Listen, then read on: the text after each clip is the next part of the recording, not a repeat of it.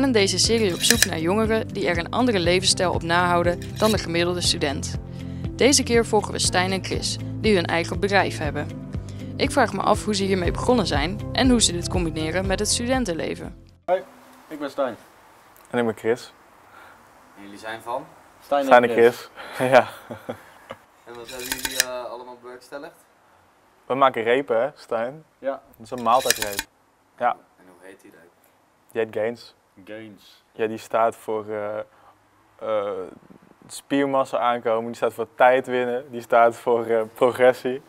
Dus die reep, die, die, ja, dat is het teken, het symbool van vooruitgang. Toch nog een beetje politieke ideologie die erin komt. Wat kut. Ik vind die naam, als je ook moet uitleggen waarom die naam Gains, dan kan ik daar geen leuk antwoord op geven. dat is gewoon, dat is helemaal geen leuk antwoord. Jongens, laten we bij het begin beginnen. Ehm, hoe is het gekomen dat jullie dachten, wij gaan zelf repen maken? Dat is echt puur toeval geweest in het begin. Eh wij sporten allebei heel veel en we studeren ook. Allebei eh, twee studies. Dus we hadden heel erg een, een reep die we zelf eh, nodig hadden. We wilden iets gezonds eten tussen studeren en sporten door.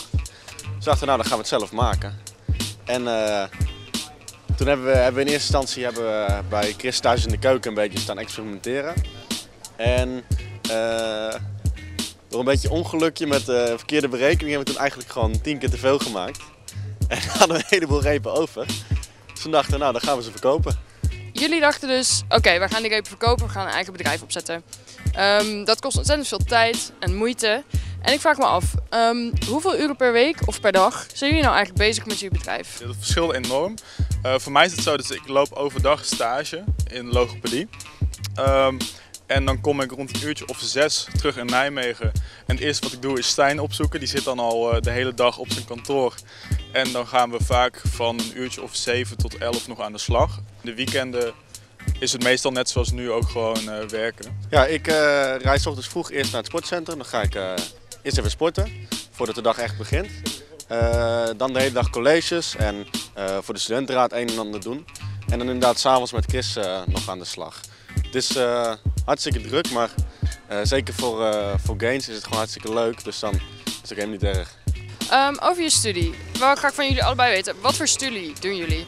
Ik, doe, eh, ik studeer logopedie aan de HAN en filosofie aan de Radboud. Ik eh, ben eigenlijk begonnen met natuur en wiskunde. Ik was ook op zoek naar iets, iets anders, eh, waar je op een beetje andere manier nadenkt. En toen ben ik ook bij eh, filosofie nog terechtgekomen. En om een bedrijf op te starten heb je natuurlijk ook geld nodig, laten we wel wissen. Hoe kom je aan een starterkapitaal? Ja, dat is een goede vraag. Eh, wat wij, wat Stijn en ik hebben gedaan, is vrijwel onze hele bankrekening geplunderd om, eh, om, om te investeren in wat we doen.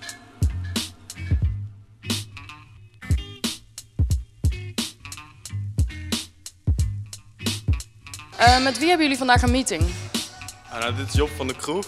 Eh, en we hebben Job benaderd via de HKU, omdat we eigenlijk op zoek waren naar iemand die het grafisch ontwerp eh, van onze repen eigenlijk naar next level kon brengen. Ik deed eerst alles zelf.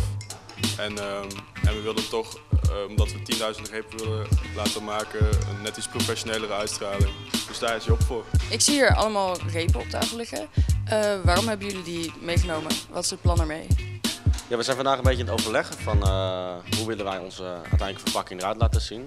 En eh, daarbij willen we laten zien wat wij, wat wij, eh, wat wij willen voor reep. Zaterdagochtend bij Alto is een first. Maar ik denk dat Stijn en ik altijd heel vaak bezig zijn om waar mogelijk inspiratie op te doen, af te spreken met mensen eh, waar we samen kunnen werken. Dus ik denk dat we wel de nodige concessies doen in ons privéleven om dingen tot stand te laten brengen. Voor mij en ik denk voor Chris ook sowieso niet eh, dat we er ergens voor gekozen hebben. We zijn er echt ingerold en eh, het is vanzelf gegaan. En er zijn zeker momenten geweest dat we echt afgezien hebben. En dat we, dat we, dat we ook wel eens eh, niet meer door wilden. Maar toch moet je altijd blijven gaan. En uiteindelijk is het hartstikke leuk. Nou, als Gains een hit wordt, wat doen we dan? Hebben er wel over nagedacht als er eens echt, eh, echt een hit wordt. En ehm, we studeren nu allebei nog en dat willen we eigenlijk ook wel heel graag blijven doen. We vinden het leuk, dat willen we ook wel afmaken.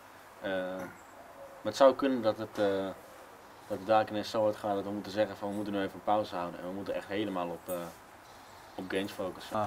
Als ik kijk naar de ple- plezier die ik nu beleef eraan, dan denk ik wel dat ik, dat ik er volledig voor wil gaan. Ja, dat, als dat betekent dat ik mijn studie eh, misschien tijdelijk op moet zeggen, dan zou ik dat wel ervoor over hebben. Ja.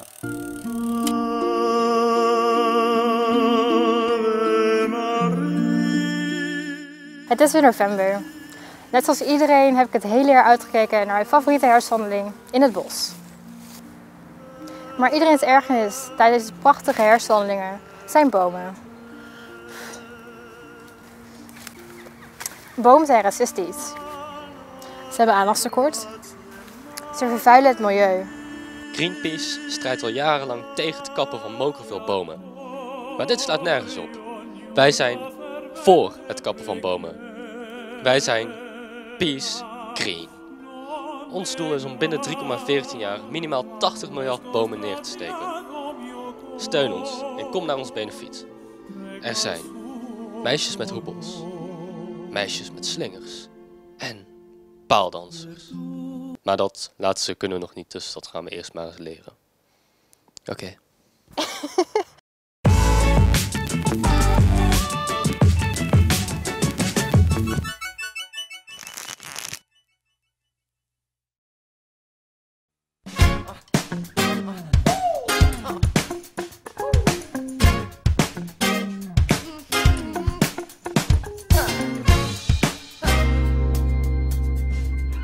Wat gaan we doen?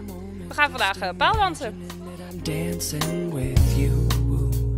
I'm your pole and all you're wearing is your shoe. Waar komt de naam uh, Lassia vandaan?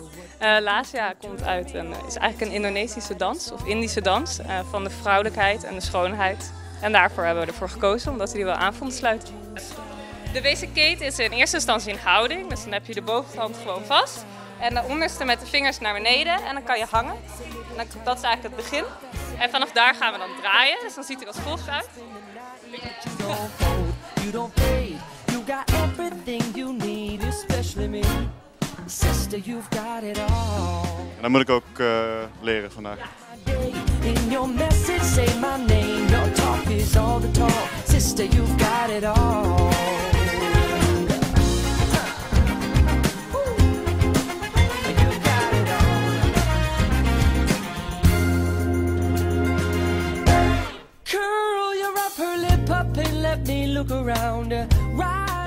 Paaldans echt een erotisch karakter of is dat meer een soort vooroordeel dat mensen hebben over? Ja, tegenwoordig is dat echt niet meer waar. Het is echt een krachttraining en je kan het eigenlijk meer vergelijken met turnen. Ja, je merkt ook, uh, paaldans wordt vaak geassocieerd met korte broekjes en een kort topje. En ja, dat heb je eigenlijk alleen maar nodig zodat je vast blijft pakken aan de paal. Omdat uh, je stof, daar glij heel makkelijk op. Dus je hebt echt je huid nodig om te blijven plakken.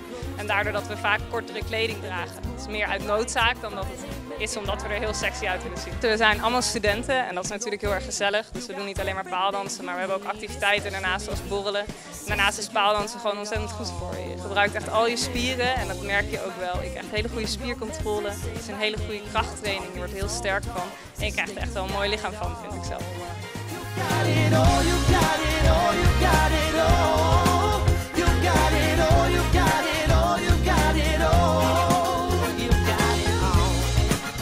Nou, paaldansen is een stuk anders dan ik had verwacht. Er komt uh, best veel kracht en techniek bij kijken, die ik niet echt heb. Maar heb jij dat nou wel? En dan een lesje bij het sportcentrum.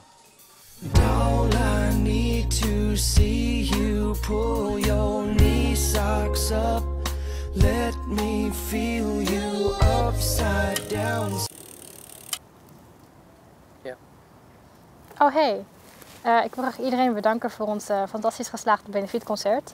Uh, we hebben 4 euro opgehaald in totaal en daar kan ik teken warme chocolademelk van kopen. En we hebben 2000 likes gehaald, waarvoor ik 2000 bomen zou kunnen verwijderen. Dus dat ga ik even vieren.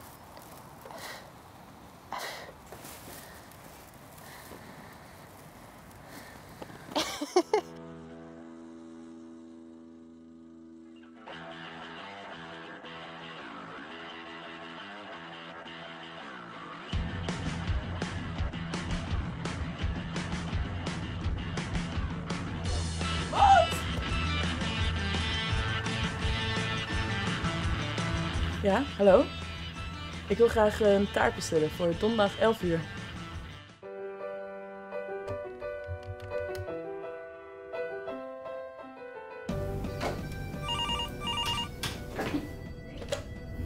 Cultuur op de campus Marieke. Mhm. Eh, ja, momentje, ik vraag het even na. Jorien, hoe laat kan die uh, singer-songwriter donderdag komen? Eh, 11 uur? Ja, is goed.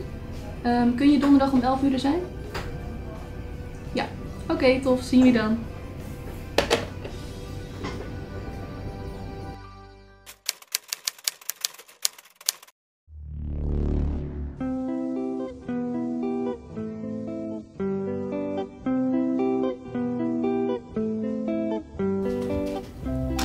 Hallo, hier is de taart. Gefeliciteerd met jullie 2000 likes.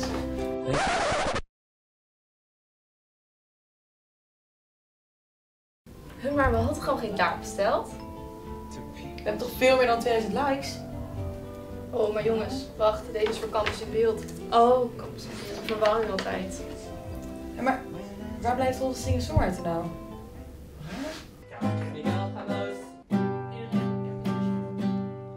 Girl